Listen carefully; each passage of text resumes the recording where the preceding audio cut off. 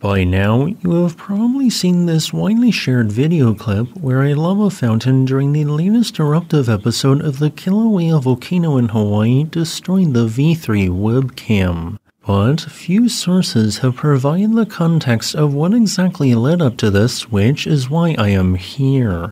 After all, Kilauea has erupted 37 prior times at the exact same 2 to 3 events since December 23rd of 2024, and yet none of those lava fountaining episodes destroyed a webcam, so why was the latest episode any different?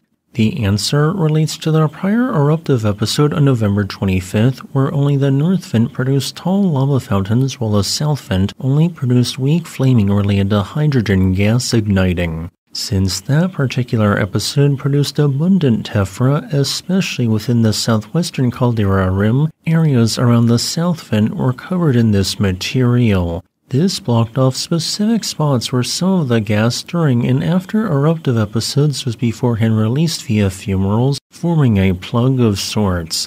As a result, when the volume of gas dramatically increased during the beginning of episode 38, pressure built up beneath one of these plugs. It continued building until 61 minutes into the eruption, the pressure became so great that the gas forced its way through the overlying volcanic rock. With a newly created hole rapidly relieving pressure, magma diverted to this vent, which began spraying largely horizontally rather than vertically. As this particular lava fountain reached a height of 1,005 feet or 300 meters, it quickly reached the V3 cam, destroying it as it was impacted by many molten hot lava bombs.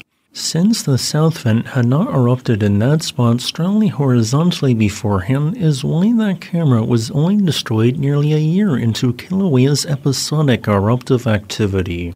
This episodic activity has largely followed the cycle outlined in this chart, which, as of December 10, 2025, has occurred 38 times since December 23rd of 2024. Let's now discuss more about the December 6, 2025 eruptive episode in question. Sustained lava fountaining began at 8:45 a.m. local time from two sources encompassing the broader North Vent.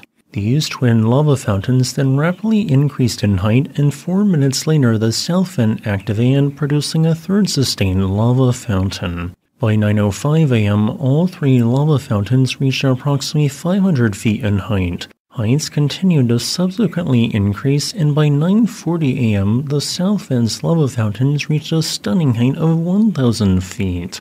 The aforementioned explosion on a portion of the south vent occurred at 9:46 a.m., generating that strong largely horizontal lava fountain. This is the view of where the camera was after it was destroyed.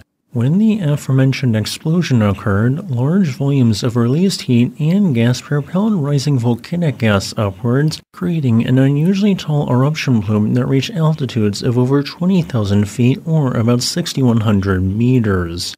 Afterwards, eruptive activity slowly declined until it ceased altogether nearly 12 hours after it began at 8:52 p.m. In total, 12.6 million cubic meters of lava was erupted, averaging 288.86 cubic meters per second. Here is a time lapse of the last year's activity at Kilauea, which has greatly filled the southwestern section of its summit caldera. The hill made of tephra that formed the caldera rim has grown to be more than 110 feet deep in some spots.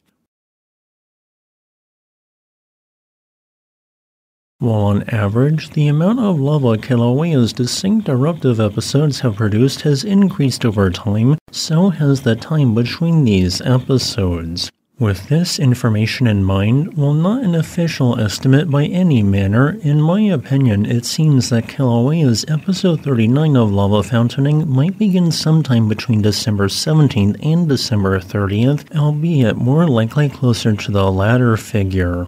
Thanks for watching. As a final note, I would like to thank my new YouTube channel member, Daniel Mahoney8576, for supporting my work.